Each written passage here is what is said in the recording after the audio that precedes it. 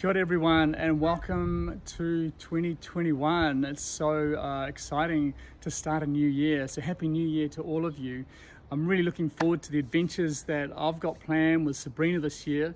Uh, we're looking at workshops around the country. I have mentioned this in uh, previous newsletters. We've already done uh, some in Auckland. We just did a recent one in Gisborne after the Revive Festival, which was epic, I have to say. And we were basically packed out on all of these workshops that we did, and we've actually had to turn down. So we're going to go back to Gisborne at the end of March. So for those of you who are in Gisborne, we're coming back. Uh, we're just looking for the venue now, and then we'll be we're doing Hamilton, of course, uh, tomorrow. So excited about that and we'll be planning more as we go, Tauranga and Taranaki and other areas. So uh, really, um, this is really about wishing you all a, a fantastic like 2021. I know so much has happened last year and in some ways it's been very nice for people, very nice.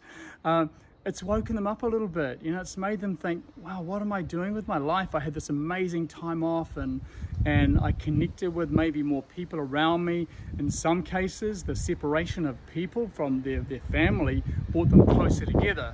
What is it? That, oh, absence make the heart grow fonder. Isn't that the saying? And I think that that happened for people too. And it made them more aware to let's get on my health kick, as, as a lot of people do at the beginning of the year, and then it fades out afterwards. But you know, it's important for us to look after our bodies and the air is free so far. No one's taxing the air yet. The water is taxed, but the air is still free. So we have this amazing medicine that when we use it in different ways, we can have amazing outcomes in our own well-being and health.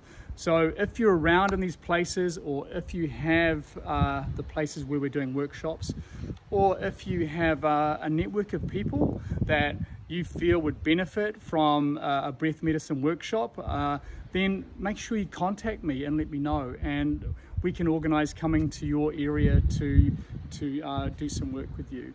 And I'm also interested in collaborations this year. I've got some beautiful people uh, that surround me uh, that we're looking to do some really interesting things. So I'll keep you uh, in the loop with that as we go. But aside from that, um, as I said, have a beautiful year.